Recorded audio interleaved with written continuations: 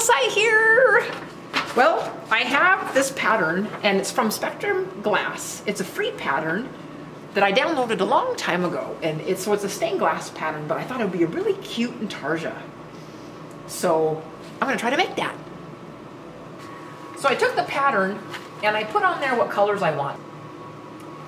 So I thought this, this is spalted juniper. I thought this would be great for the sheep. And I thought this yew would be really good for her arms.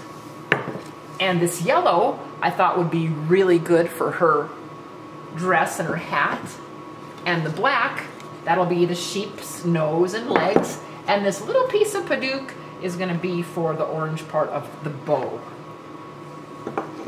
So I cut the paper pieces out for each color and placed them upside down to spray some 3M77 adhesive on them. I like to bend a little corner so the piece is easier to pick up after it has been sprayed.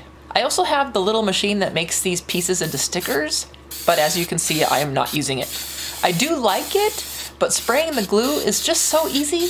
I'm sure I'll use my little machine again someday, uh, but not today. Okay, continuing on. I like to use a tweezer to pick them up, grabbing them at the little corner that I bent.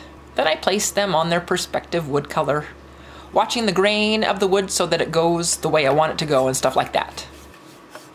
And here are all of the pieces on the wood. Then I started cutting all of the pieces out on my Hegner with a number 5 modified geometry blade. The lines on this pattern are pretty thick, so I tried to stay in the center of the line. I got off a little bit here and there, but like I say, gaps happen. Even though I try to limit gaps and fix gaps when I make them, I've also accepted the fact that it's not going to be perfect, and that that's okay. I have to remind myself it's not like I'm doing oral surgery or anything. I have stressed out about projects in the past, and that's no fun, and I don't like that. So I am just going to work with the mistakes and have fun making the project. Next was to begin the rough shaping. I do that with my pneumatic drum sander with 100 grit on it. I really like this part and it is really easy to mess up a piece if you sand it too much. Which I did and I had to fix, but I don't show you that. but it did happen. But I didn't stress about it. Then I take it to my Flex Drum sander with 220 grit. The Flex Drum smooths out the marks made from the 100 grit, and I can actually do a little bit of shaping with it if I give it some pressure against that drum. I used to hand sand each piece with 150 and then 220, but the Flex Drum has taken the 150 grit hand sanding out of the process, which makes things go much faster um, maybe I should be using 150 on the flex drum and then use 220 on the flex drum. I, uh, but I don't know. Jumping from 100 to 220 seems to be working just fine, so I'm just gonna keep on doing it this way. That's one thing I love about this, you can do it however you want.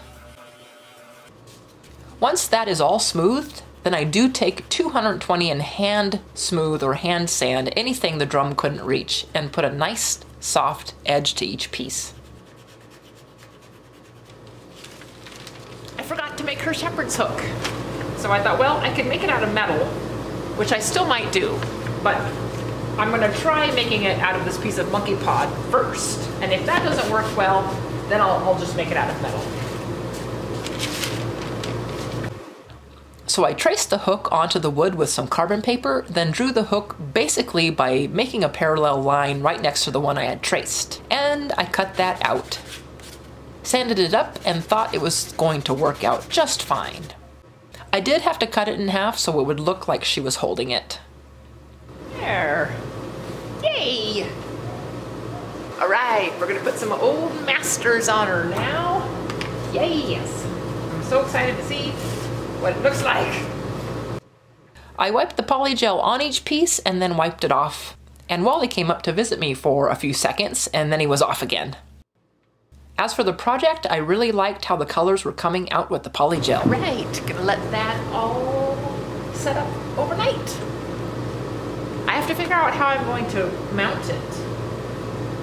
Or what I'm gonna mount it on because I think we need to have like a whole scene or so with her. You know, like she's the shepherdess with her one little sheep and she has other sheep out there in the flock. I don't know. We haven't figured it out yet. Not sure where that dot on my chin came from, but it was hard to wash off. The next day, I was eager to put it all together. I thought it was looking pretty cool. I found a piece of wood, it was like half of a log, so I transferred the project to it. I was hoping to use the knot for a sun, but it just didn't line up right. So I cut the piece down some and I started gluing it up with Titebond, quick and thick. Sometimes I glue one piece and let it sit there until it is set up before gluing the rest of the pieces. This way it can act as a hold, but this time I just kept on gluing. But I did use some salt to keep the pieces from drifting, and that helped. Also, I didn't have to worry about a backer, making sure the pieces were fitting onto it just right. So that gave me a little bit of liberty just to glue them all up at one time. I also used a small brush and some water to clean up any squeeze out from the Titebond. Yay! Uh, I'm going to put, oh, I added a foot to the back of it so that it can sit up oh, a little bit better. Yay! So now I'm going to put a verse on here, but it's a pretty small area, and the verse I want to put on there um, is Matthew 18, 12 through 14. And um, I'll tell you what it says while I'm putting it on there. I'm going to use the heat transfer technique because I'm not going to be able to put it on my laser. Um, yeah, so the heat transfer, yay!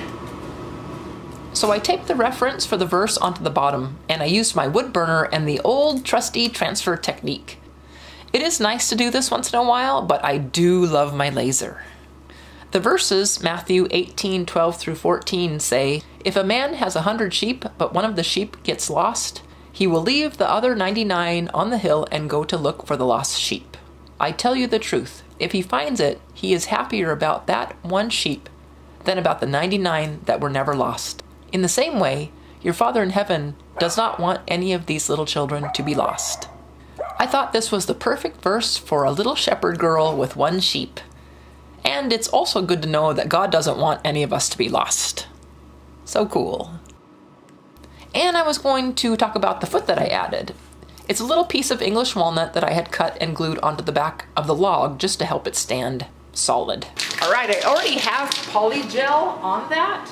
So I'm gonna use polyurethane spray to spray everything and it should be fine. Yay! Let's start on the back.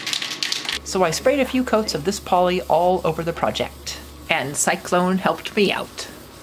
Hey, she's all finished and I really like the, uh, the spray poly on top of the gel poly. It worked really great. And I don't know what kind of tree this is, but ah, oh, isn't it just cool looking? Ah, just so cool. And then I put this little foot on there. It's a different kind of wood, but it'll act as a foot and, and the verse. And, and then I did end up putting um, another little finish over the bottom of this after all of this dried. So, and that spalted juniper is just, oh, so good. Yeah. So I am going to leave a link in the description box to my Pinterest page that has this pattern. It's a spectrum glass, stained glass pattern.